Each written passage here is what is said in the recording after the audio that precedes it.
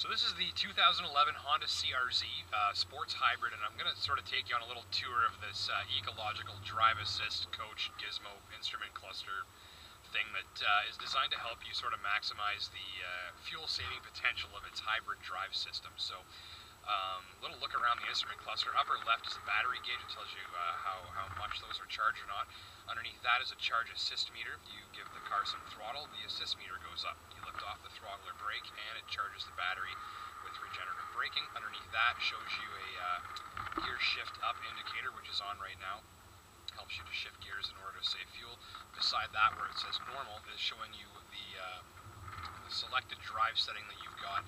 There's normal, econ, and sport, sort of depending on how green or other side of the equation sporty you're feeling at any given moment. Of course, speedo and tachometer in the middle, and then a uh, multifunction display down in the bottom right. That color changing mood ring that you've probably noticed around the speedometer is there to help coach you uh, to sort of ease off the throttle and save fuel. And when you're making the car happy and Mother Nature happy and saving gas, it turns green. Right now it's blue because the uh, shift up indicator is on the bottom left and I'm not shifting up. So it's blue telling me that I could be saving more fuel. So shift up in a third and now it turns green again. As long as I keep my foot moderately on the throttle, um, it's turning blue so I kind of back off. And this is just to coach your, uh, your right foot into saving as much fuel as possible. Now the normal mode that I'm in now is sort of a, uh, a nice match between the sport and the econ settings if you're undecided want to go a little bit uh, more green and give up a bit of performance, sorry for the steering wheel in the way here, you can put it into the econ mode. Now you can see that selection light up and there's a little green alfalfa sprout thing in the bottom left showing me that I've selected that, uh, that mode instead. What that does is kind of numbs the throttle down and turns the air conditioning down a little bit and a few other things to help you uh, maximize your fuel economy.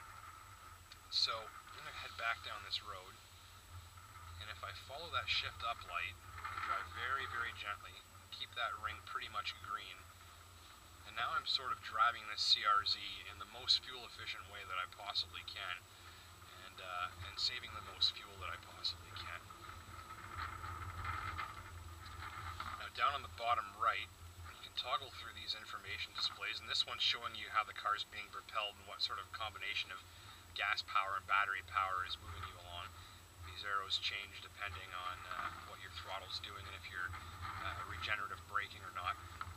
There's also, uh, of course, some tools to help you track your fuel consumption, give you the uh, range on the current tank you're on. This Eco Guide thing has little digital alfalfa sprout things growing and uh, gives you kind of a score every time you shut the car off uh, to help you maybe save a little bit more fuel the next time you drive it. Uh, but this is a sports hybrid, so there's also this sports setting up here. I engage that, the throttle comes to life and sort of everything's dialed up into a higher performance mode. You can see that color changing mood ring turning red, meaning that uh, we're definitely not in the most fuel efficient mode, but can actually have a little bit of fun with this car. So to give you a little idea of how quickly it can accelerate and what it sounds like in the process.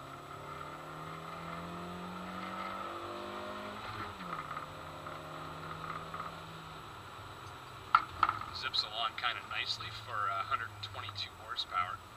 And then when you're done, you can just put it back in a normal mode, shift up as instructed, and you're uh, back to saving on fuel.